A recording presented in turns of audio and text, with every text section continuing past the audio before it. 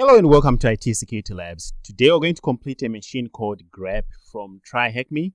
This machine allows us to learn how to do OSINT, some enumeration, and also just to learn how to bypass filters on websites. So if you're interested in learning how to attack websites and also how you can defend against them, then this is going to show you how to do that. So this machine is part of the red teaming path. As you can see, I've done 84% of this section. So if I complete this machine, it will count towards my progress on the red teaming series here.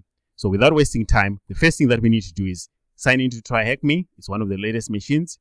Go ahead and join the room. And once you join the room, first task here is to start the machine. And once we start the machine, it should be running. Give it about four to five minutes, and we'll be answering these questions here. It says, what is the API key that allows users to register for the website? Okay, so we don't know anything for now. First thing is, let's go ahead and start our attack box or use your own Kali machine. I prefer to use my own Kali machine, but if you don't have that with VPN, go ahead and start the attack box. And once the attack box is started, I'm doing minus SV minus SC. So for now, let's just we use verbose here and SV will show me service version and SC will show me if it, it will run default scripts and VV will do some verbose output and then we'll give it our IP address. In fact, since I'm doing verbose, I'd like it to scan all ports. That's what this is going to do. And we should see. As you can see here, right away we discovered 80, 443, and 22. So we'll open a browser and see if we can find anything there. Okay, so opening a browser here, we can just go to that IP address and we see a default Apache page. So we also saw that 443 is open. So let's go to HTTPS and say advanced, accept and continue. All right, you see that it's saying it's not accepted. So this is HTTPS. Let's check the certificate. One of the things that we can do to find more information about a target is, especially if it's a, it is a certificate, is check the certificate information. So the, it's verified by SearchMe. Let's view the certificate. So the common name is grep.thm. So let's use that. And we found it in the certificate. In Etsy host, we can come in here and let's give it our IP address and then say grep.tryhackme. That's the name that we saw. And this time, hopefully, it resolves. HTTPS grep.tryhackme. I hope it works. All right, now it says search me. So what we can do now is, let's see if we can log in. Try the obvious like admin, admin, admin password. And we see that it says password is invalid. We're also trying to see if it even allows us to verify whether the user is not there. Invalid username or password. So we, we don't even know if admin is a valid username here, but that's fine. Let's go and register. I'm registering at Security Labs. IT, Secu IT Security Labs. Email is IT Labs at email.com. IT Security Labs. IT Security Labs. Okay, let's register. Oh no, invalid or expired API key. So what API key are they using to verify that this is actually correct? Let's go and find out. The application is called Search Me, as you saw here at the top. So let's go to maybe GitHub and search for Search Me. Let's see if we see any repository that that shows us anything. So we have a few repos here. Kind of hard to tell. You can do it by going through every single one of these and see if one of them works. Let's look at the code. We only have 10. So search me is showing up on this code here.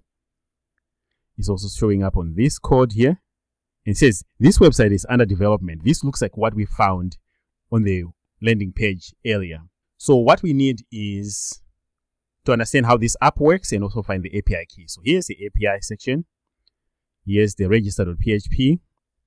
As you can see, they don't have any API key in here. That's fine. What else is in the API is upload. So once we get in, we might be able to upload something. And in the upload here, notice that they're using valid magic bytes. So we cannot just upload an image. We need to make sure that it has the correct magic bytes here. As you can see, they're accepting JPEG, PNG, and B BMP. So if we need to upload a reverse shell, we need to give them these magic bytes. Kind of good to know. Okay, so far we haven't found the API key. People usually mess around in the commits where they remove secrets afterwards. So here, initial commit, remove key. All right. So here's the key that we need to register. So now it's a matter of how do we give them this key? So first, we launch Burp Suite, interception on, then try to register again. Um, okay, we need to give this to the Burp Suite browser, which is this one. Okay, now we go to register. Our user is IT Security Labs. Password is IT Security Labs. IT Security Labs at email.com. I just give them something that looks like an email. This is IT Security Labs twice. Okay, invalid or expired key. Now let's intercept it. Now, if we look here, here's the key. They're sending a bogus key. This is not the same as the one that we found in our repo. In the repo, this one starts with FF, ends with F39. That's not the same thing. So let's replace that with the real thing.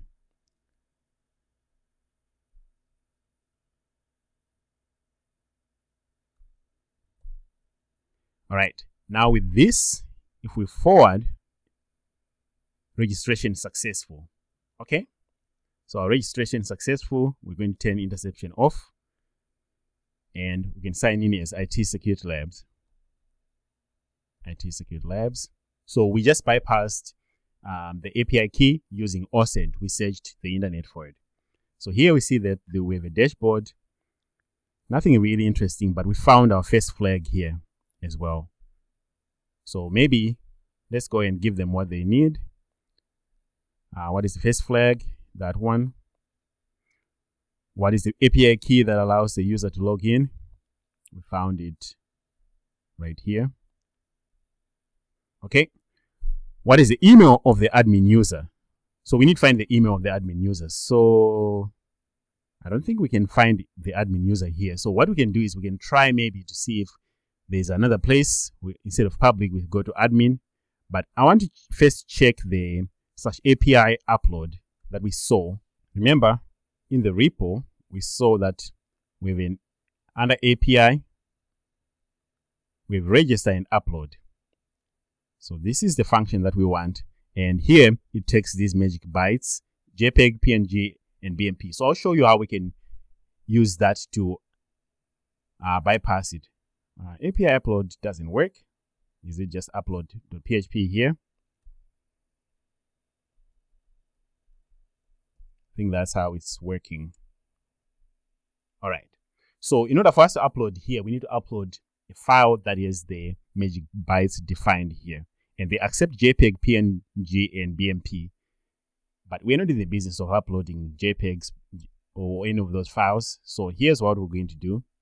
We're going to locate a PHP reverse shell. This is like the most classic PHP reverse shell that you can see. So we're going to use this one and we'll put it over here as ref.php. Maybe we'll name it hacker.php because we want to be a little bit more dramatic, right? So now we have hacker.php. Let's nano hacker.php and modify it to our needs. Most of the time, you can delete all these comments because they can be used for detection. But for now, we just need to change this to our IP address. We can leave the 888 the same, or we can change that as well. Okay, our nmap finished. We also found a few other ports unknowns, but that's fine. We'll check that later. Let's do an IP8, see what our IP address is. It's 10, 10, 10 13 10 119. Okay, 10 13 10 119. That's my VPN. All right. Now that that is done, uh, let me also change this from 2.8 maybe to 443. Because why not? Now that we did that, this will not pass because it says hacker.php and it also doesn't have the magic bytes that are there. Hacker.php to hacker.php.jpg. We can pick any of the ones that are listed on our Git repo here. I'm just picking the first one, JPEG. And this one is magic bytes FFD8FFE0. Okay. So now let's put the magic bytes into the JPEG. The ex extension is going to pass the check for the extension, but this will still not pass because it needs the magic bytes. But before we add the magic bytes, let's add just uh, random stuff at the beginning here so that we can add our magic bytes to that. So we can say nano You got a JPEG. So in order for, me, for us to maintain our PHP, let me just put four here. Now, X editor, php.jpg. So instead of 2e, we're going to say ffd8. d8 ffE0. Okay.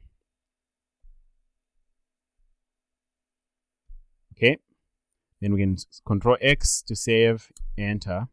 Now that we did that, we can upload hacker.php.jpg and it should succeed. Let's see. So we go here, browse.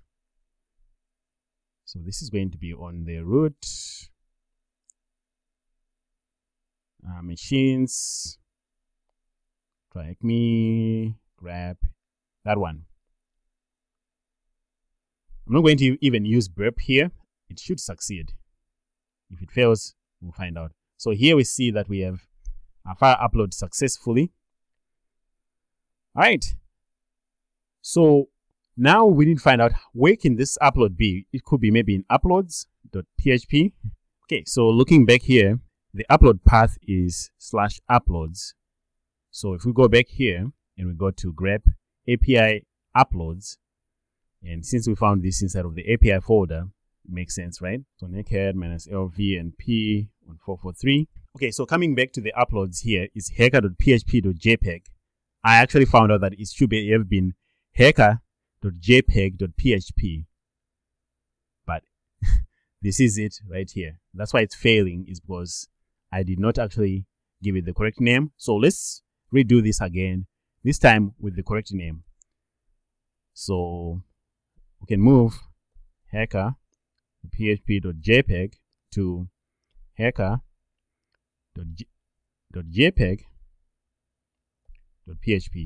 That's what I needed to do. Now, let's upload it. Okay, so going back to our upload.php, let's browse and go and get that file. Okay, in try hack me, grab. Now we have hacker.jpg.php. That should work. Upload. Okay, now that it's uploaded, now we just need to go to slash uploads like that. And in here, this is the correct one. If we click on that this time, notice that it's hanging. So we fixed the extension. I hope we got a reverse shell back. And sure enough, we did. So this is a limited shell. If you want to fix it, you can just go to GitHub. Here's a link where you can find how to stabilize some of these limited shells. So they have Python here, but I believe this is Python 3. So we just use it as Python 3. This is just stabilizing the shell so that it's usable. Nothing fancy here. I would also like maybe to use Xterm. Yeah, this one. I don't care about bash that much, but this should be good enough. I, I just want these colors. So this will make my shell a little bit usable and it's not fully stable, but I'm okay with that. So let's do an ls manual enumeration here so that we can become root. In fact, our next task, according to here, is what is the email of the admin user? cat such etc pass wd. Do we have admin in here? So I'm just looking around. So we are looking for the admin user and we are in as ww data so admin is not a thing where did we get landed uh, let's check the home folder so home we have TryHackMe and Ubuntu. These names here kind of tell me that these are not special users. I don't think we're supposed to break into any of these. Since we're also asking for an admin user, I might as well look somewhere else. So uh, var www html just in case there's more files in here Okay, I see index.php, API, ls API. Does this look, this looks pretty much standard to what we already had on GitHub. So let's go one, one down just in case there's another website here. Uh, leak checker. What are those? Uh, is this it's a directory. ls leak checker. Uh, check email.php index. Check email.php.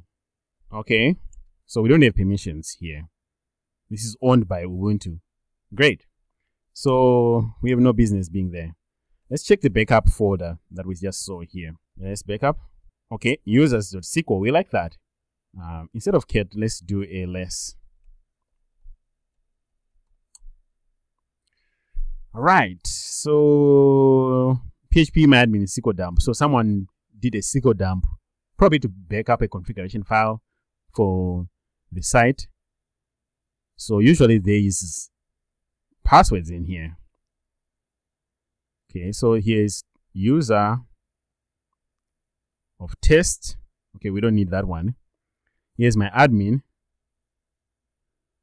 All right. So it looks like we found the user here uh, password. So here's what was happening. ID is 2. The username is admin. And the password here looks like this is the password hash, which is fine. Then we have the email address. So this is what they're asking for. I thought that was the correct one.